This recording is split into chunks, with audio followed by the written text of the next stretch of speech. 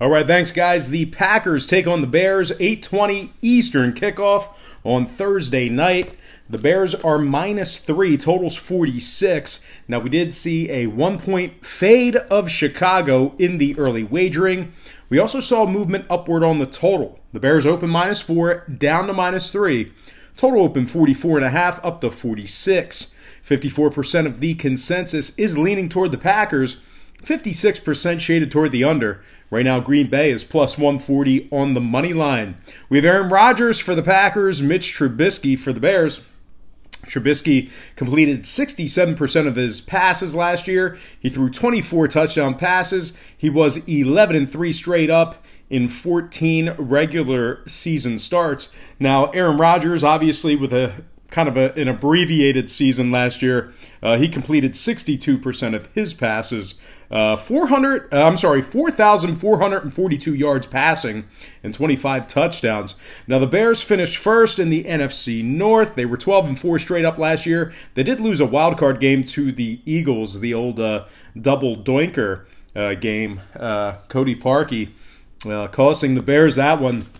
But regardless, the Bears arguably a better team than Philadelphia in that spot there. They were a great team last year. They uh, successfully covered the number in nine out of their final 11 uh, games. They were 5 and 1 against the spread in their last 6 at home. They're also uh, 7 and 0 in their 7 and 0 against the spread in their last 7 ball games taking on a opponent from the NFC North. Now the Packers on the other side, uh, they lost nine out of their last ten on the road, dating back the past couple of seasons. Uh, so if you're into historical trends, uh, certainly uh, Green Bay not a great road team as of late. Uh, of course, they finished fourth in the NFC North. McCarthy was fired in the middle of the season. Uh, they finished six nine and one on the year, and they failed to cover in seven out of their last eight ball games, taking on an opponent from the NFC North. Now, total wise, Green Bay is 7 3 to the under in their last 10, 80% to the under in their last five, taking on a divisional opponent. The Bears, on the other side, they arguably had the best defense in the National Football League last year, and they might just have it again this year. Uh, they're uh, five and zero oh to the under in their last five ball games, five and zero oh to the under in their last five, taking on a divisional opponent. So, with all that said and done, I'm going to lean toward the home favorite in this one.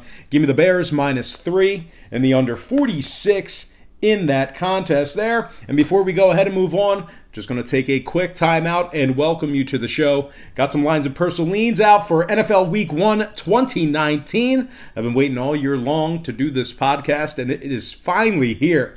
Now, before we go ahead and move on and get into some more uh, lines and personal leans right here on YouTube, I just want to take a quick timeout and just remind you to check me out on my website at patreon.com slash Brock Page. We do daily plays on that site. We have a bunch of different memberships and packages you could subscribe to and they begin at just $1.99 per month. Now we are hitting 63% in our last 16 board member plays. That's just one of those premium uh, packages and memberships that you can subscribe to right on Patreon.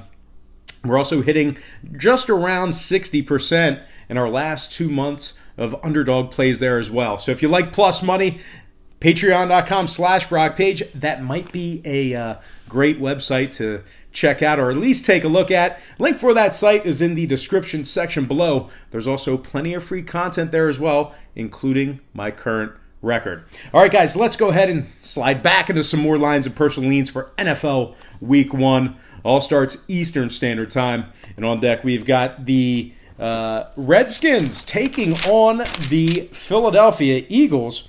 Now that's going to be a one o'clock Eastern kickoff in South Philly. The Birds are minus eight and a half. Totals forty five and a half. We saw movement upward uh, when it comes to the spread. We also saw movement downward with regard to the total. The Eagles open minus eight, up to eight and a half. Total open 46 and a half, down to 45 and a hook. 52% are leaning Washington, 66% shaded toward the under. Right now, the Redskins are plus 325 on the money line. We have Case Keenum for the Redskins, Carson Wentz for the Eagles. Uh, Wentz, once again, uh, kind of an abbreviated season last year. He completed 69% of his passes Uh, he threw for a little bit over 3,000 yards, uh, 21 touchdowns to just seven interceptions.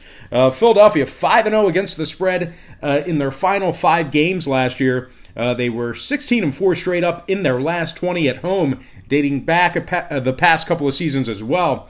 Now, the Redskins on the other side, mm, that is an organization in shambles right now. Losers in six out of their final seven games last year, uh, failing to cover in four out of their last five, taking on the Eagles. They finished in third place in the NFC East, uh, seven and nine uh, overall for the year, and of course Alex Smith snapped his leg like a twig in Joe Theismann like fashion. Now uh, the Redskins, their defense allowed 353 yards uh, per game last year on average. Uh, they're also uh, they were 29th in scoring. They scored just 17 points per, per contest on average per game. Now, when it comes to the total, the Redskins are 4 1 to the over in their last five in Philadelphia. So, with all that in mind, I'm going to take the Eagles minus 8.5 and the over 45.5 in that game. Next matchup Ravens, Dolphins. And that's going to be a 1 o'clock kickoff in Miami.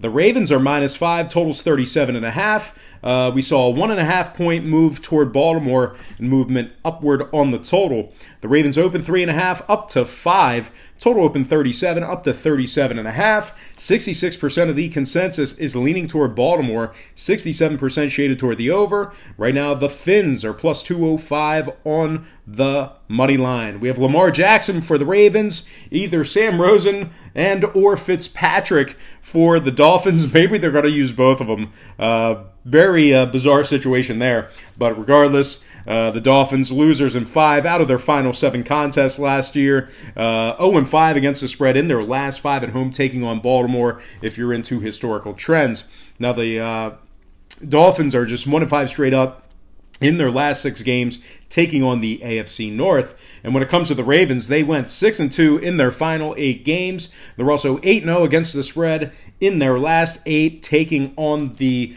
Dolphins. And when it comes to the total, the Ravens are 4 and 2 to the under in their final six. Uh, they arguably have the best defense in the AFC. Now, uh, Miami on the other side, 5 and 3 to the under in their last eight, 6 and 3 to the under in their last nine, taking on a member of the AFC. So, with all that in mind, I'm going to lean Baltimore minus 5 and the under 37 and a half in that game. Next matchup Bills, Jets, 1 o'clock, New York. The Jets are minus three, totals at 40. We saw a half a point fade of New York and movement upward on the total. The Jets open three and a half down to minus three. Total open 38 and a half up to 40. 51% are leaning Buffalo, 65% shaded toward the over. Right now, the Bills are plus 135 on the money line. We have Josh Allen for the Bills, Sam Darnold for the Jets. Uh, Sam Darnold had uh, just 17 touchdown passes to 15 interceptions. Uh, he also went 4 and 9 as a starter last year. Uh, the Jets were last in the AFC East, just 4 and 12. They finished seven games back of New England in that division. Uh, they're just two and eight against the spread in their last ten, one and nine straight up in that same span of ball games. The Jets are just one and six straight up in their last seven, taking on an AFC opponent, and they failed to cover in six out of their last ten, taking on the Bills. Now, speaking of the Bills, pretty good defense. Their defense was second in yards allowed per game, and uh, they were right behind Baltimore in that uh, statistical category there. Uh, Buffalo, winners in two out of their last three games, 2 0 against the spread in their last couple. They're also 6 and 4 in their last 10, taking on the Jets. Now, total wise, Buffalo's 6 and 1 to the under in their last seven when traveling. I'm going to lean toward the road dog in this one. Give me the Bills plus 3 and the under 40 in that game. Next matchup Titans, Browns. A lot of eyes on this game. 1 o'clock Eastern kickoff in Cleveland. The Browns are minus 5.5, totals 45 and a hook. Now we saw movement toward Cleveland and movement toward the over in, in the early wagering. The uh, Browns open minus 5 up to 5.5. Total open 45 up to 45 and a hook. Uh, 56% are leaning Browns, 58% shaded toward the over. Right now, the Titans are plus 205 on the money line. Uh, we have Baker Mayfield for the Browns who threw 14 picks last year. He was also sacked 25 times. Uh, the Browns finished third in the AFC North, just 7 8 and 1 on the year, two and a half games back of Baltimore. They also dropped five out of their last seven at home, taking on Tennessee. Once again, if you're into historical trends, uh, the Browns finished 29th in yards allowed last year. Meanwhile, the Titans on the other side, four and one straight up in their final five ball games. They ranked eighth in yards allowed in 2018. And when it comes to the number, Tennessee's five and one to the over in their last six. They're also eight and two to the over in their last ten, taking on Cleveland. I'm going to lean toward another road dog in this one. Give me the Titans plus five and a half in the over 45 and a hook in that game. Next matchup Falcons, Vikings. And that's going to be a 1 o'clock Eastern kickoff in Minnesota. The Vikings are minus 3.5, totals 47 and a hook. 55% are leaning Falcons, 56% shaded toward the over. Right now, Atlanta's plus 155 on the money line. We have Matty Ice for Atlanta. Kirk Cousins for Minnesota. Uh, Cousins went just 8 7 and 1 last year, 10 interceptions. He was sacked 40 times and uh, kind of choked in that uh, Week 17 game. If they won, they were in, and they couldn't get the job done. Now, Matty Ice on the other side for Atlanta. He ranked third in yards passing. Uh, he almost threw for 5,000 yards last year. Uh, he threw for 4,924 yards and 35 touchdown passes. Now, Minnesota, they did finish second in the NFC North. They went 8 7 and 1. Once again, they lost to Chicago to get in.